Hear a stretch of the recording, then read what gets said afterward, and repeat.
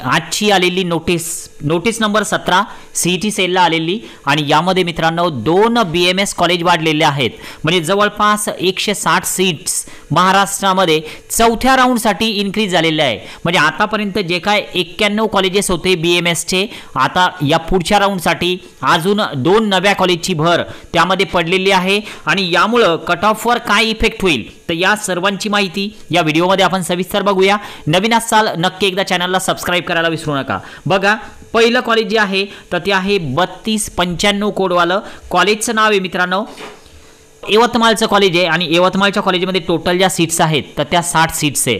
यवतमाळचं college आणि समोर तुमच्या आहेच स्क्रीनवर ayurvedic college B M S college आहे आणि आता नंबर दोनचं जे कॉलेज आहे तर ते सुद्धा प्रायव्हेट कॉलेज आहे. एकतीस पस्तीस कॉलेजचा कोड आहे आणि या ठिकाणी सुद्धा हे जे कॉलेज आहे तर हे संगमनेर.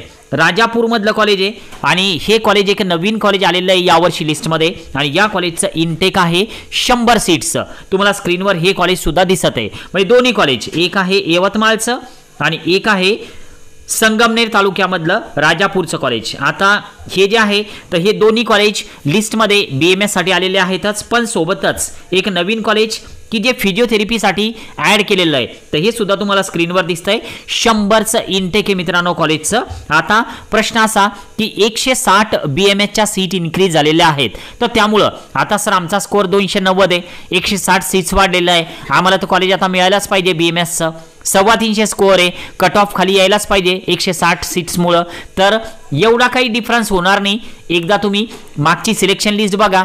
खूप सारे विद्यार्थी भरपूर कॉम्पिटिशन आहे. या एकशे साठ सीट्समुळं कट ऑफ खाली येईल. तर असं तुम्ही समजू नका.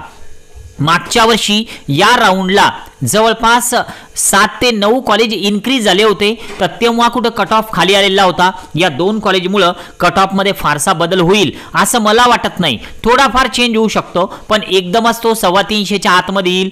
तीनशे वीसच्या आतमध्ये येईल. दोनशे पन्नासवाल्याला सीट मिळेल. तर असं होऊ शकणार नाही. आजपासून चॉईस फिलिंग सुरू आहेतच. उद्या परवा दोन दिवस आपल्याकडे आहेत.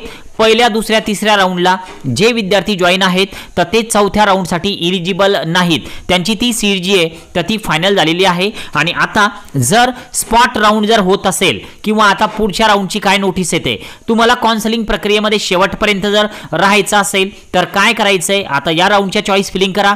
जर कॉलेज मिळालं तर तुमचं हे कॉलेज फायनल होणार तुम्हाला पुढं जाता येणार नाही. जिजाऊ अकॅडमीचं काउन्सिलिंग करायचं असेल सेंड क्यू आर नावाचा मेसेज करा दिलेल्या नंबरला नक्कीच तुम्हाला क्यू आर सेंड केला जाईल. आता आज आपण या ठिकाणी थांबतोय. बाय